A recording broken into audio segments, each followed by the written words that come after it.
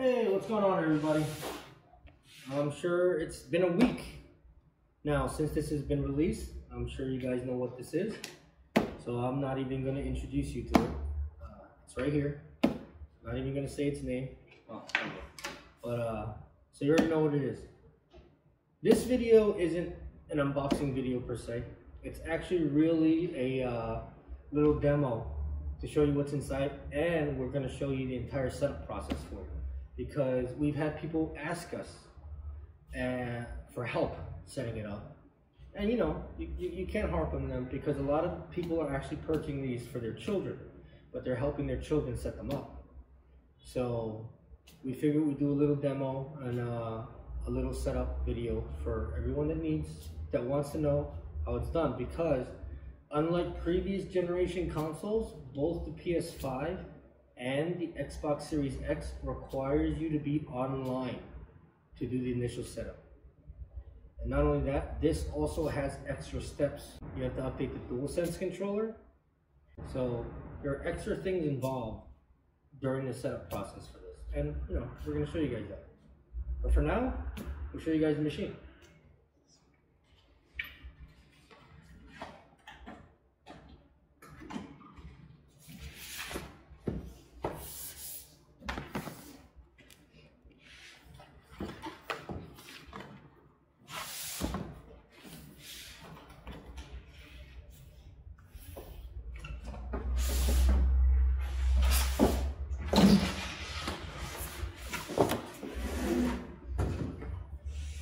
But also, I like this this little touch that they put on this. Just a tiny little PlayStation logo on an entirely white box. But as you guys already know, uh, I prefer the Series X box and packaging over the PlayStation one. PlayStation one's rather simple. Uh, probably because they're like, you know, the unit will speak for itself. Doesn't need fancy boxing. As your literature.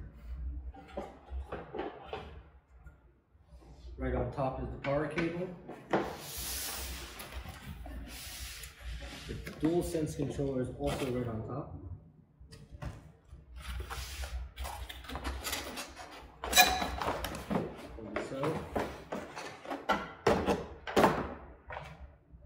This is the Type-C cable to charge the DualSense. This is the plate, aka the dock, that you rest the PlayStation 5 on. And this is the HDMI cable that it comes with. Uh, that's also another question we've had uh, people ask about.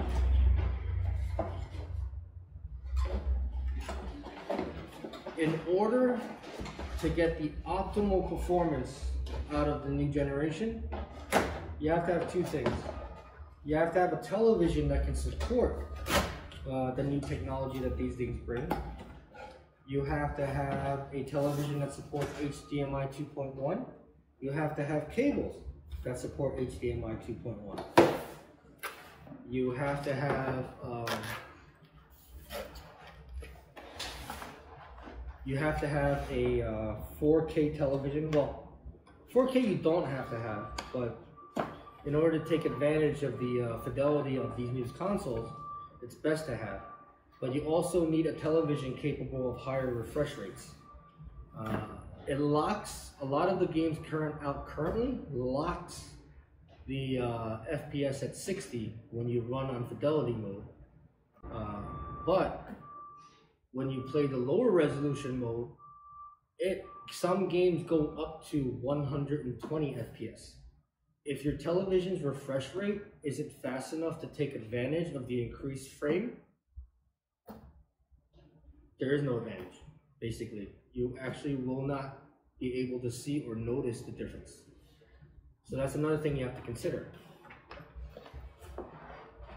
We don't sell TVs, so uh, or nor do we actually talk about them. So we're not going to get into that real quick. But you, know, you can easily find information on televisions that are recommended for the new gen systems. We'll put the links to those in the description also.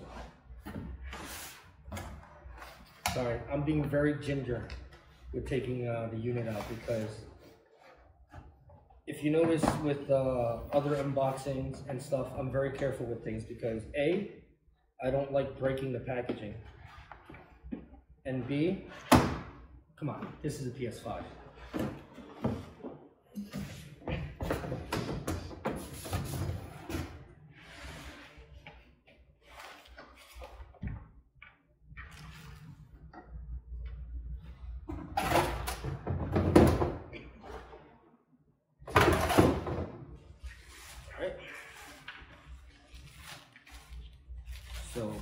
First, I'm going to show you the unit. Many of you have already seen it probably, uh, especially, well, if you're here, you've seen what this unit looks like by now. Also, if you saw our PS5 giveaway video, which I'll also put a link in the description to, or, or you can actually see it right here if you're on desktop or using the YouTube mobile app. So this little exclamation point, circle around. You can actually select that and go see the uh, giveaway.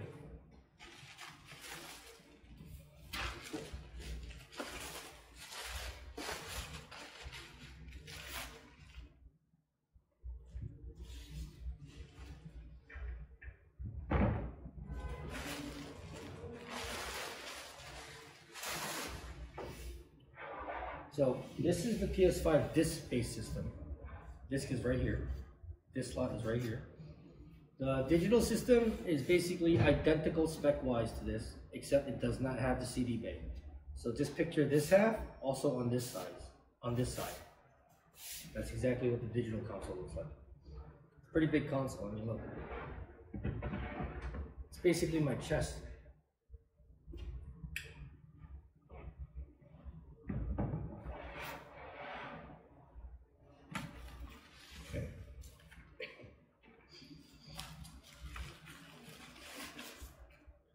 Base of the unit.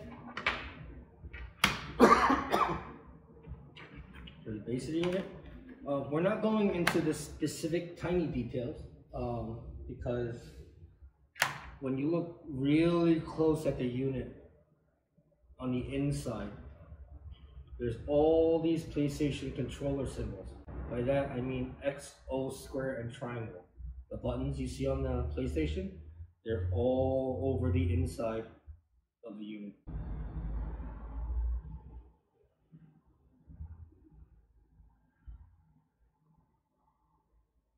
And also, on the inside of the back, on the right side over here.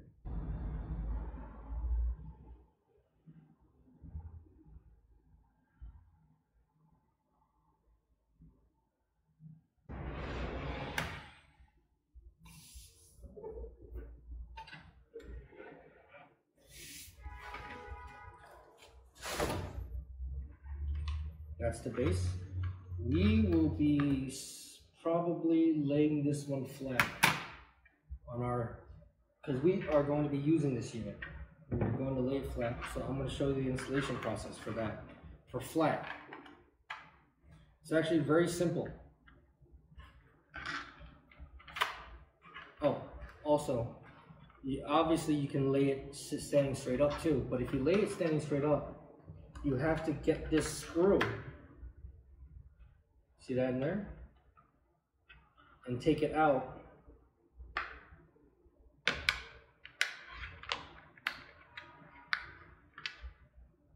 And actually screw the base like so onto the unit so when it stands, it won't just suddenly, you know, plop over. But as you can see, it's pretty sturdy unless you like decide to knock it over. But since we'll be laying it down flat, I will show you that.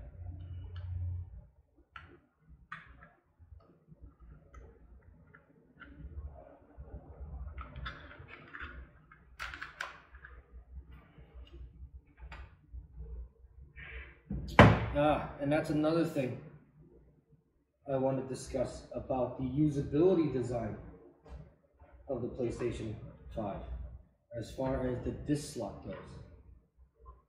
I understand a lot of people will be putting this in tight spaces. I recommend you do not, only because of airflow issues for these new systems. If you're familiar with the uh, PS4, PS4 Pro, the slim, uh, you notice that they get hot all the time, especially during prolonged periods of use. So I do not recommend keeping this in a tight space, but I do know a lot of people will. Now, see this? It's actually a rather simple installation. Literally, it has slotted hooks. Literally, you just hook it in and basically put it into position, just like that. Very plain and simple. And you can actually judge where you stop because it's sloped. It's contoured along with the PlayStation. The underbelly is contoured. And um, you can see that. And so is this. So basically, you just hook it in. And then you can slide it down until it fits, slide just like that.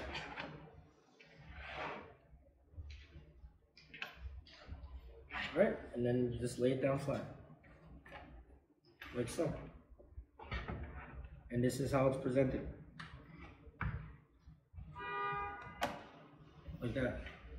Seems awkward, right? But that's exactly how it's done. And this slot is right here, which actually, from a usability standpoint, if you're looking straight at it like you are now, it might not seem so bad. But if you have a slot in your entertainment center underneath your TV, you pretty much have to get eye level to put the disc in because when you look at it from a top down angle or even a straight top down view, you actually can't see the slot. It's literally about a half an inch in from this bevel. So I don't know if they uh, never considered that when they made this because it's really obvious that they actually want people to stand this straight up. But a lot of people are gonna have it flat as will we, because we won't store it underneath anything. We want airflow, so we'll be putting it on top of our desk uh, when we use it.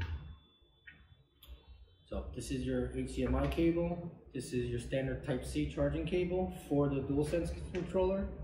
This is your standard power cable. This is the DualSense.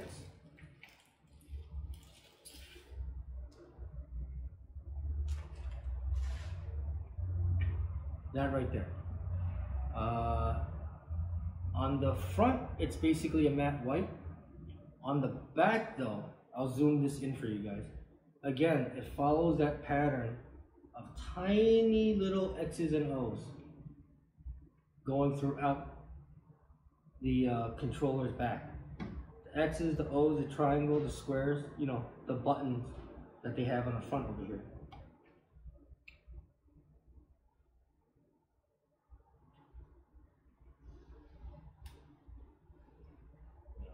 And they added a blue LED light. I don't know if you can see that right there. It's actually pretty cool. If you've played with this, we have.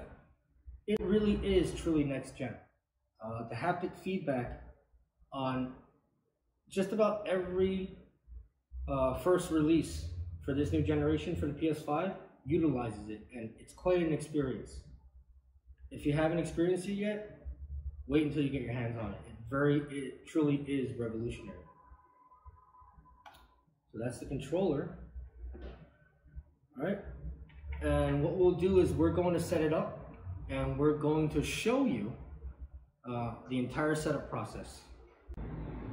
Okay, I wanted to show you guys what this looks like when it's powered up. I love that blue hue that's on the top of the unit. On the right hand side there, you see it's glowing. It's more pronounced than it was on the PlayStation 4 consoles. Much more so than the PlayStation 4 Pro. Sometimes you don't even notice it on the PlayStation 4 Pro. Simply because of where the LED is situated. Now we're going to set this up just so you can see how it works.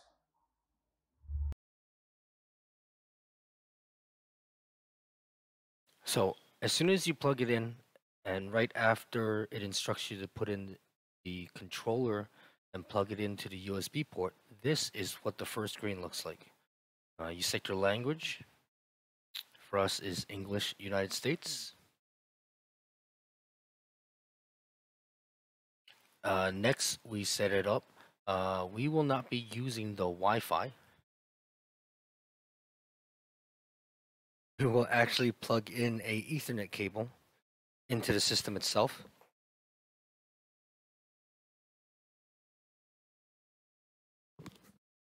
There you go. Once the Ethernet cable is plugged in, gets to the next and adjust display area. Basically, you can make it smaller, larger. Basically, it's to fit your screen. There we go, it's at max. OK. And it says to insert a game disk.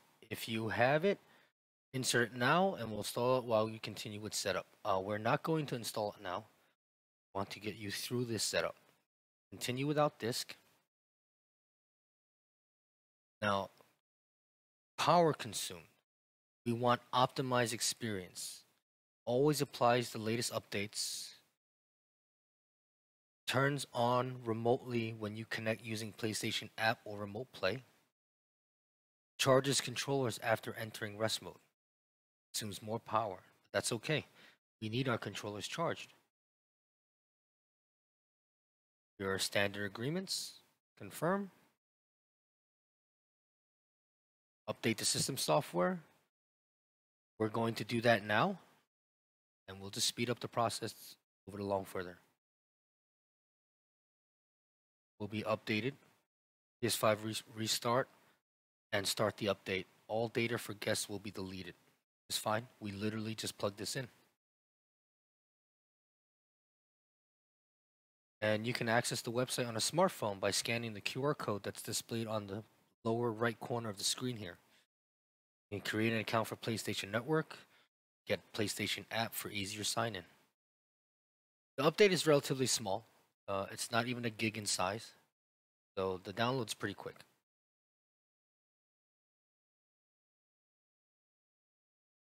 Now the now the PS5 is going to restart.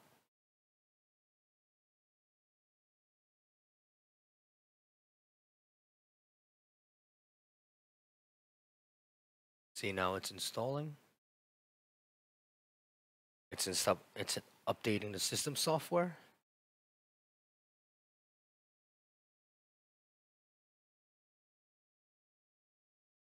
Normally you have audio, like a little bit of background audio while this is all going on. However, uh, we disable that so we can concentrate on just showing you the setup. And there's the classic PlayStation logo. Press the PlayStation button on the controller. Astro's Playroom is added to downloads because Astro Playroom actually comes pre-installed with both the digital and physical disc consoles. Oh, at least it comes. It says it comes pre-installed. It doesn't. It actually needs to be uh, installed. Let's continue.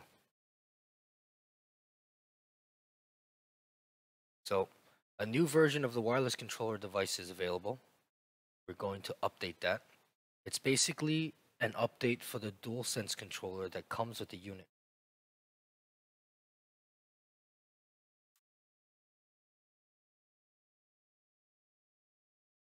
Okay. Uh, it says to create an account. We already have one. So we're going to bypass this step. Or if you already have one, which you probably do, because most PlayStation players either have a PlayStation Plus or a PlayStation Network account. So we'll do the setup later. All right. Choose an avatar for ourselves. This is cool. See what your options are here.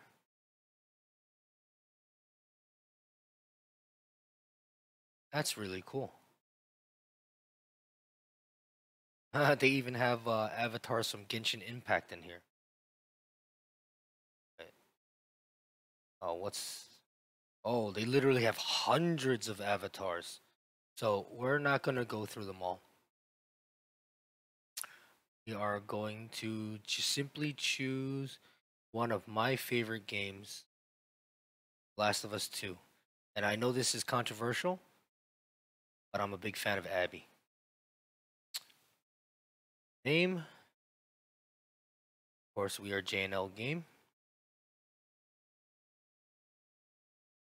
It's interesting. Where are the special symbols? There are no special symbols. So we're going to have to go with J, L.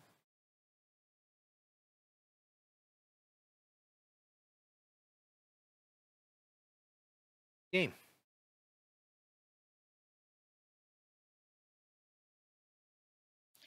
Says you need to use letters, numbers, hyphens, or underscores. But I don't need to use on. Oh, I understand now. That is so silly. So we're just gonna straight up do J L game this way.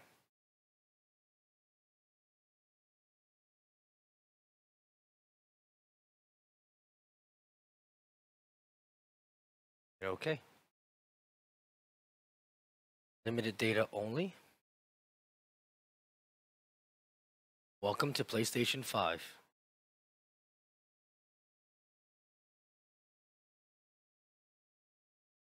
All right. And that's the first game. It was downloading that in the background, as you saw from the pop up earlier. And that is how you set up PS5. And there you have it. That was the Sony PS5 with the, the setup process, the process of updating the DualSense controller. I hope you enjoyed this video. If you do, please give it a like. Please subscribe to our channel for more video game shenanigans. From everyone at JNL, have a good one.